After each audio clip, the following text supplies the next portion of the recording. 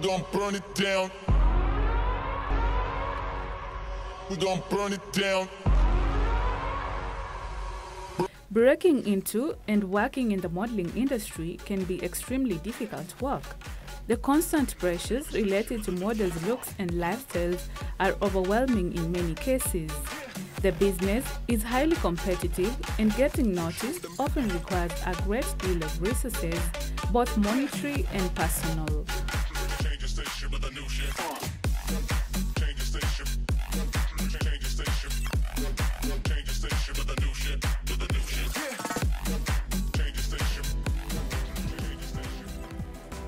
While beauty can be defined differently, there is a side of beauty that is often left out, and Mary Mukami, the co founder of Rare Beauty Movement, is out to change the view of beauty while she explores beauty from different communities and encourages self love and self worth.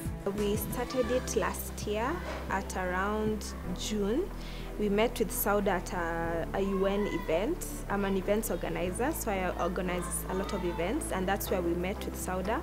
And it was a persons with disability events, and we got to do a lot of activities that involved um, sort of like the world of persons with disability. And for me, that really touched me, and I felt like this should. Um, reach out to the world. So uh, Sauda and I partnered and we started um, the movement and our aim was to impact the beauty and the fashion industry. Our main goal is to make sure that the um, persons with disability are embraced in the entertainment, in the events and in the advertisement industry. Because most of the times when you go to fashion events you'll never see like a person with disability yet they wear clothes and shoes you know and they attend events. And most of the events are not persons with disability friendly. Like you'll not find someone who can um, you know like there, are, there are no ramps there are no people to help out and everything which is very sad. Yet they are very they are a majority in our country and in the world. So for me i wanted to change that norm and have events that are basically majority for persons with disability if it's the runway it's just for persons with disability to showcase the products to showcase their beauty and you know just to change that realm of beauty and everything The rare beauty models are differently abled models ranging from persons with dwarfism, vitiligo, and many other forms of disability. For us, our target is um, persons with albinism, persons with vitiligo, uh, dwarfism, and um, basically just persons with disability, mostly ladies. That's uh, who we are dealing with for now. Uh, basically, because especially for ladies, we have a lot of judgment out there. You know, there's always judgment of can you do this, can you do that, can you talk like this. So for me, I felt like they are not really appreciated well in my view. And if you look at some of the ladies that we have, they are extremely talented. They are very beautiful. We have ladies who work um, in banks. They they play basketball. They do swimming, and they do like competition.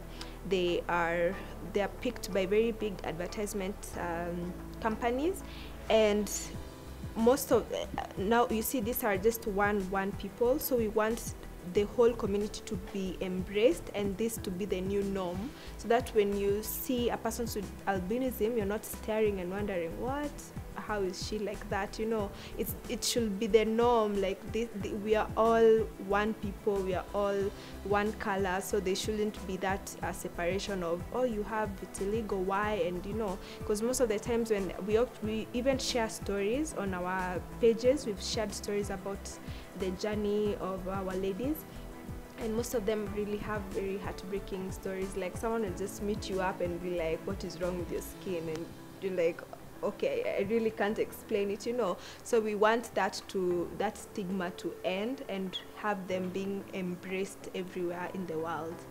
In order to recruit models to her movement, Mary uses social media as a platform to make her cause known to the public.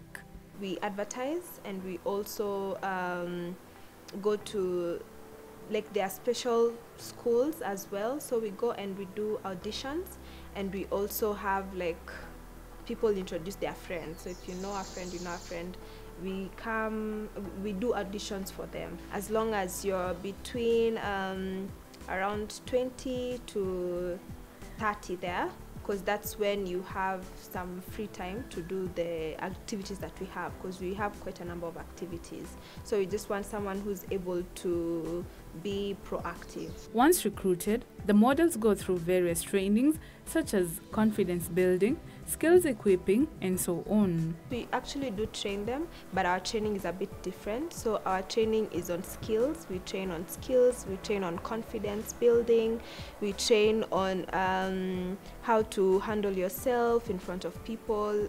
When you go to companies how you're going to you know carry out yourself so this is basically how we train them because we can't train them on walking or or you know the runway um, normal thing. So what we do, we just train them on the conf- confidence building and how they're going to um, approach companies out there as they're looking for, for jobs and advertisements and all that. Mostly the trainers are uh, persons that they're also persons with disability as well, and Sauda is also one of them. Uh, my partner, she's a very good trainer. She's been uh, in the fashion industry, she's been in the modeling industry. She's actually done a, a couple of advertisements which are on billboards. So she's very qualified for training uh, to our models. Some of the activities that the models indulge in include Mostly we do concentrate on events like uh, the recent one that we had for Valentine's. So we do such events where we just uh, have our models go through the runway. We invite speakers. We invite the speakers, and we also have them showcase their talent. So basically, that's those are the activities that we have, and we also have um, advertising them advertising products. So we'd go to a company and then they'd give us the products that they have and then we'd have our models advertise those uh, products. So when you look at our page, we have uh, a variety of the products that they've been advertising. So what we do, we get uh, your talent. So what talent do you have? If you your talent is to make jewelry, the beaded uh, jewelries, that's what you make and then we advertise uh, on our page and we in every event we get you to advertise your products so people are able to buy and that's how you're able to build your career path uh, if you're good at dj we have a dj in the team uh, we get you a DJ who's like a professional DJ, and then they work with you that journey. So you're able to learn this is how you do it, this is how you get people to attend your events, like that. Uh, if you're good at uh, tailoring, like making clothes, you design your clothes, and then in one of the runways, the models wear your clothes. So it's part of the mentioning, and that's how you advertise your clothes. passion and motivation are key to one's goal as Mary attests.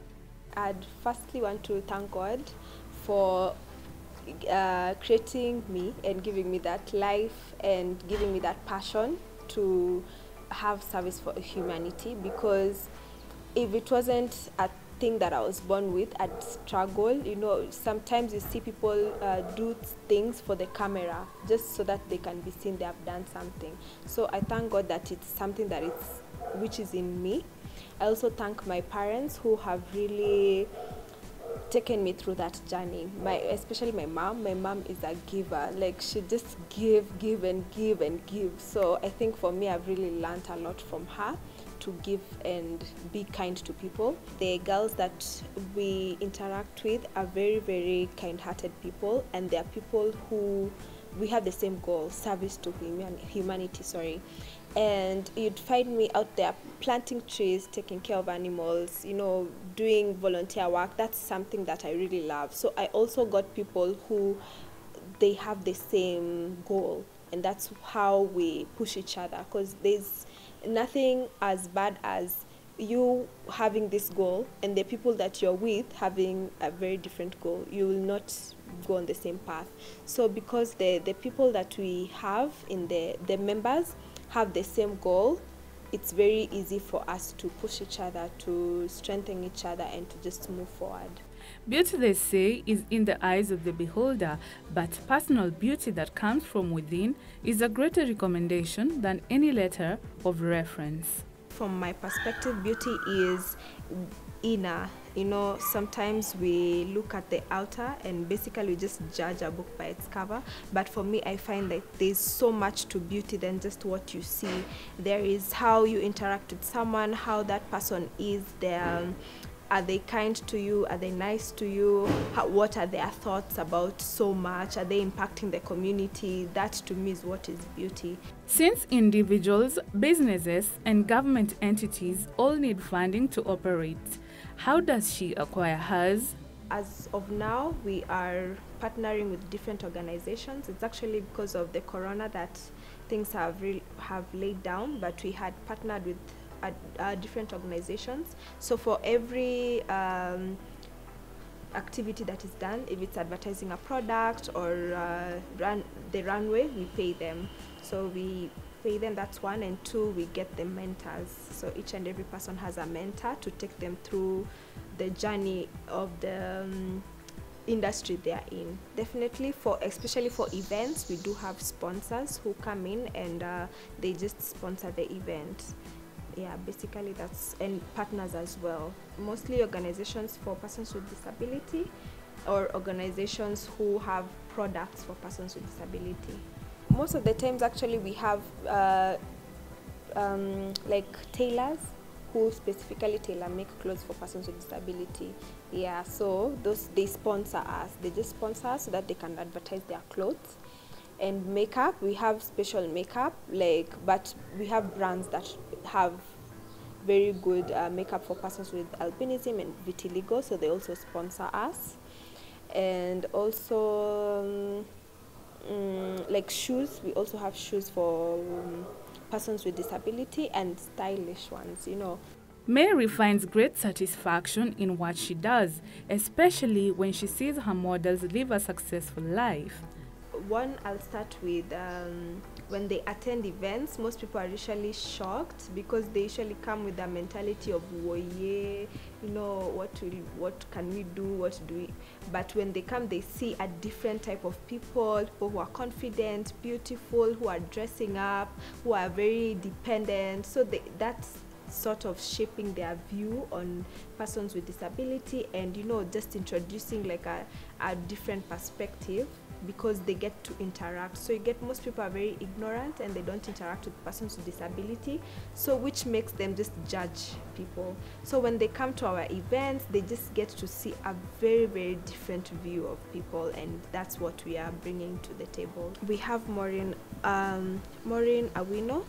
She's a member of rare beauty and she's also a person with a disability. She's a very proud mom now her story has been very deep. She used to consume drugs. She actually never liked herself and attempted suicide a couple of times. And it, it was a very very hurting story because most of it was because of her surrounding. Most people didn't talk to her didn't like her or treated her different. And for her she just felt like the world does not have any meaning. So in terms of when we we and her clicked we were able to give her that self confidence we walked with her that journey. We helped her to change her life. She's now a different person. She has confidence. She can be able to approach a company and that's how she landed her job because she never was confident yet she has studied. But she never thought that she'd be picked. One because of her previous job. She had a job where people in the organization never treated her well they never liked her they were never good to her. And so she felt like i can't even you know get a good job for myself. And she was actually laid down because they thought she was limiting. But then we encouraged her we boost her confidence and we were able to help her reach out to a better job. And right now she's doing so well. She's a proud mom. She has a stable job and she's actually enjoying her life Just what are some of her greatest achievements? uh, one of our achievements was being able to hold fashion events I think for us that has been a very very big achievement because and even having people attend because most of the times fashion the fashion industry is usually looked at as you know this high tech high class and uh, this world of you know different people. So we really came in and changed that perspective because we were able to host a couple of fashion events and have sponsors have partners and have people attend the event. So for us that has been really like a big thing for us like a really step forward yeah. And then also the number the number of partners that we've acquired and the number of um, in terms of partners our girls have been able to get uh, advertisement jobs you know with our movement. So to us that's a really big thing. The sale is not always smooth, as Mary suggests. mostly i'd say um, access to um, like different places. Because most of the times when we are going to to do fashion shoots or just shoots we'd get the the places are not accessible. So there's one time we went to this building and the partner wasn't sensitive enough to know that the the building doesn't have ramps. So it was very sad because we didn't do we, we ended up not doing the, the event i mean the shoot because they couldn't some of our members couldn't go into the building some the places were too small. I mean it was just it wasn't a good thing. So for us that was that's usually our big challenge like to find buildings that are accessible and also to uh, I'd say maybe like to have people not stare so much. Sometimes when we are out there doing photo shoots, people are like, "What?" Well, you know, like it's just like sort of like a very crazy thing you're doing. You know, yeah, it, it becomes very strange. Like, oh my God, people people exist. You know, it's just so that to us has been a really really crazy challenge. So yeah. I think that, and also um, I'd also say that confidence has also been a very big challenge. Like some of the members are still not yet confident, and we still are really trying to build that confidence. Mary, who is also an, an environmentalist and events planner, believes in service to humanity and also participates in charity work. She shares with us some of the activities that she does in her free time. love for nature uh, started when I was young. I'd really go out and plant flowers, even if they were not real. I'd just go and poke a flower. So I felt like I grew up loving nature, loving animals. I am obsessed with taking care of animals. I'm that one person who I can't watch Nat Geo because I see one lion eating a, a cub or something and I'm just crying. So for me, I really, really take care of the environment. When I go out and I find someone has thrown something, I'd definitely be the one to pick and you know go through it. So I I really want to encourage people to take care of the environment because if we don't, then who will live in it? You know, and we have our children, our children, children who we want to live in this world so and also service and uh, service for humanity. I think for me that has also been a passion. And i find myself mostly like the weekends i go to children children's homes and uh, homes for elderly people and help out as much as i can. If it's cooking cleaning doing anything that i can i really just love helping out. I i can't help it. I, I love really helping out. And for me that's something that is in me and which i'd want to share with so many people. I'd want to reach out to people to help them be able to understand that we should take care of each other, we should take care of our environment, and that we were actually created. I'm a Christian, so we were created to take care of our environment. So to me, that has been something that inborn. There's an organization called Me Forest, which I was working with, and their sole purpose is just to plant trees all over Kenya. And they do plant whether people know or they don't, or people don't know. People are finding out or not, they just plant trees. So, and their um, their goal is to make sure that they are able to at least attain the 10% uh, tree cover. So, for me being part of that organization, I've really, really learned to do stuff whether people are watching or not. Her greatest desire is to find more sponsors to support her great initiative. When asked what the future looks like, this is what she has to say. We are really looking forward to have um, one of the biggest fashion shows in Kenya for purely persons with disability. That is our main goal.